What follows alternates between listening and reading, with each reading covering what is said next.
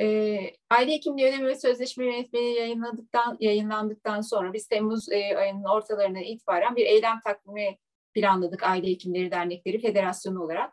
E, bu eylem takviminin içerisinde Sağlık Bakanlığı'na faks eylemi, Cumhurbaşkanlığımıza faks eylemi yapılan e, yanlışları anlatmak için ve çözüm önerileriyle beraber neden biz bu ödeme sözleşme yönetmeliğine itiraz ettiğimizi de anlattık. E, Sayın Cumhurbaşkanımıza açık mektup, Federasyon Yönetim Kurulu üyemiz e, açık mektup okudu ve yine e, ödeme sözleşme yönetmeliğindeki e, sorunlu bulduğumuz maddeleri neden itiraz ettiğimizi anlattı.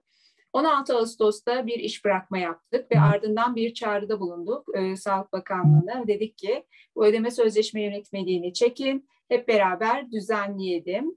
E, bir gelişme olmazsa 27 Ağustos'ta da iş bırakacağız dedik. Ancak bu süreç içerisinde e, ödeme sözleşme yönetmeliğini geri çekmek gibi, e, bizimle tekrar görüşmek ve e, bu yönetmeliği düzenlemek gibi bir e, hareket olmadı açıkçası. Bakanlığımız tarafından bir yaklaşım olmadı. E, aksine e, ödeme sözleşme yönetmeliği üzerinde bulunan maddeleri itiraz ettiğimiz bir madde vardı. Mali hak kayıtlarımız da vardı ve e, ülke genelinde aile hekimlerinde yüzde ona varan e, ödenek kesintileri oldu maaşlarından kesintiler oldu ve e, ayın 16'sında yapacağımız eylemden önce bir katsayı değişikliği yapılarak bu kesintinin olmayacağı e, bildirildi Sağlık Bakanlığı tarafından. Ancak bu kesintiler yapıldı ve geri ödenmedi. Aynı zamanda da bizimle bir görüşme yapılmadı. Biz e, bunun üzerine 27 Ağustos'taki iş bırakmamızı da uyguluyoruz. Ülke genelinde tüm aile hekimleri ve aile sağlığı çalışanlarına bu çağrıyı yaptık ve büyük bir katılım olacak. E, biz Aile Hekimleri Dernekleri Federasyonu olarak kendi turkuaz tablomuzu oluşturduk ve bu turkuaz tablomuzda da e, iş bırakmaya katılacağını söyleyen hekimlerimiz, aile sağlığı çalışanlarımız e, bildirimde bulunuyorlar. E, 6 binden fazla bildirim var kişi katılacak diye ve bu sayının çok daha fazla olacağını da görüyoruz, biliyoruz. Hak kayıplarına hiçbir aile sağlığı çalışanının ve aile hekiminin göz yummayacağı bir gerçektir. E, eylem takvimimizin devamında 28 Ağustos'ta miting de vardı. Ancak Ankara Valiliği e, bugün e, en son e, mitingimizin onaylanmadığı ve ileri bir tarih belirlememiz gerektiğini söyledi. E, bizler de e, mitingimizi 11 Eylül'de yapacağız. Ankara'da aile hekimleri, aile sağlığı çalışanları tek ses, tek yürek bir arada olacağız. Hakkımızı savunacağız. E, bizim yasal haklarımızdır iş bırakmada, e, mitingde ve biz bu yasal hakkımızı da kullanacağız.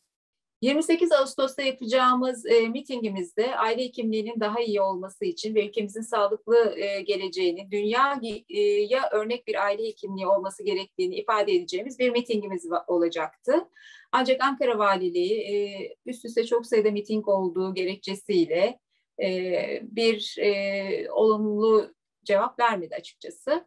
E, ancak biz bu gerekçenin çok doğru olduğunu da düşünmüyoruz. E, belki Sağlık Bakanlığı bürokratları bir zaman kazanmak istiyor olabilir. Bu mitingimizi engellemek yönünde girişimde bulunmuş olabilir veya dışarıdan e, bir girişimde bulunmuş olabilir ama aile hekimleri ve aile sağlığı çalışanları haklarını savunmakta kararlı.